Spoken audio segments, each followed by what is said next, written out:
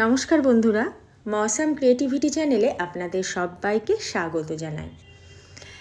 শীত ঢুকে গেছে, আর এই শীত পড়লেই আমরা কিন্তু নানান রকমের সবজির পরোটা বানিয়েই থাকি। আজকে বানাবো মূলোর পরোটা। মূলোর শাকগুলো কিন্তু আমি একদমই ফেলব না, এটা দিয়ে সুন্দর একটা চাটনি বানাবো, যেটা পরোটা দিয়ে দারুণ খেতে লাগবে। মূলোর দুদিকের মুখ আমি ছাড়িয়ে নিয়ে গাটা হালকা খোসা ছাড়িয়ে নেব। মূলোগুলোকে একবার ভালো করে ধুয়ে নিয়ে গ্রেট করে নেব। আপনারা টুকরো টুকরো করে কেটে গ্রাইন্ডারেও পিষে নিতে পারেন, তবে গ্রেট করা পুরটার স্বাদটা বেশি ভালো লাগে। এইভাবে আমি মূলোগুলো গ্রেট করে নেব। এবার এর মধ্যে দিয়ে দেব সামান্য পরিমাণে নুন। নুনটা দেওয়ার কারণ হচ্ছে মূলোর মধ্যে যে জলটা আছে সেই জলটা বেরিয়ে যাবে। আমি লবণটা দিয়ে ভালো করে মাখিয়ে আধ ঘণ্টা মতো রেখেছিলাম, দেখুন জল কিন্তু বেরিয়ে গেছে।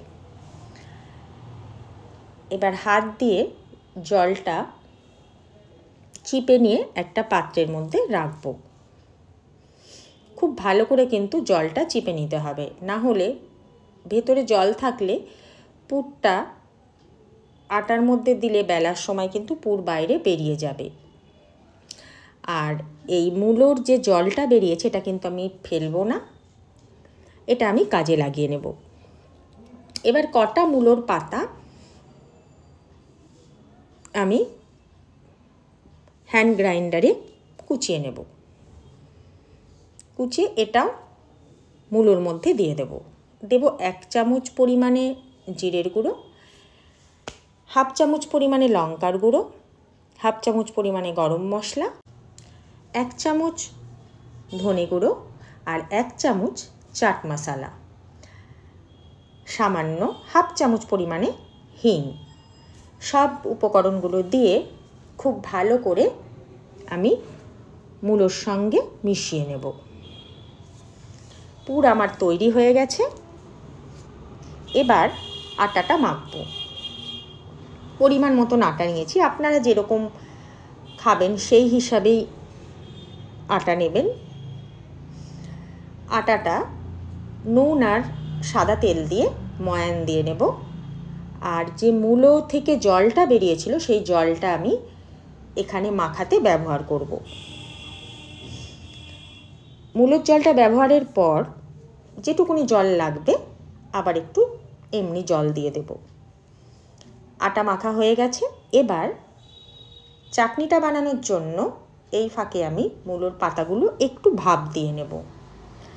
ভাপ দিয়ে জল থেকে পাতাগুলো তুলে ঠান্ডা জলে দেব, তাহলে সবুজ অংশটা ফ্যাকাশে হয়ে যাবে না। চাটনিটা করার পরও সেই গ্রিনই থাকবে। দিয়ে দেব ধনে পাতা, রসুন, দুটো কাঁচা লঙ্কা, দু চামচ পরিমাণে টক দই, হাফ টমেটো, একটা গোটার হাফ টমেটো আর সামান্য লবণ দিয়ে এটার একটা পেস্ট বানিয়ে নেব। উপরে দিয়ে দেব ভাজা জিরের গুঁড়ো। চাটনি আমার রেডি হয়ে গেছে, এবার যাব পরোটাতে। এক একটা গোলা বানিয়ে নেব। এবার একটা গোলা নিয়ে একটুখানি বেলে ভেতরে পুর দিয়ে এইভাবে মুড়ে দেব। আটার মধ্যে দুদিক ভালো করে আটা দিয়ে হালকা হাতে বেলবো। বেলার সময় কিন্তু বেশি চাপ দেওয়া যাবে না, তাহলে পুর বেরিয়ে যাবে। তাই হালকা হাতে উল্টে পাল্টে বেলে নিতে হবে। এইভাবেই আমি সব গোলাগুলো ভেতরে পুর দিয়ে বেলে নেব আর এক একটা করে ভেজে নেব। ভাজার সময় আমি সাদা তেল দিয়ে ভাজবো। আপনারা ইচ্ছে করলে ঘি দিয়েও ভাজতে পারেন। একটু কড়া করে ভাজলে খেতে খুব সুন্দর লাগে, তাই একটু কড়া করেই ভেজে নেব। দু পিঠ ভালো করে ভেজে গরম গরম গ্রিন চাটনির সাথে পরিবেশন করব। অবশ্যই কিন্তু মূলোর চাটনিটা আপনারা বানাবেন, অসাধারণ খেতে হয়। তাহলে আজকের মতন ভিডিও এখানেই শেষ করছি। আমার ভিডিও যদি আপনাদের ভালো লাগে, তাহলে চ্যানেলটিকে লাইক, শেয়ার আর সাবস্ক্রাইব করার অনুরোধ রইল। খুব ভালো থাকবেন, সুস্থ থাকবেন।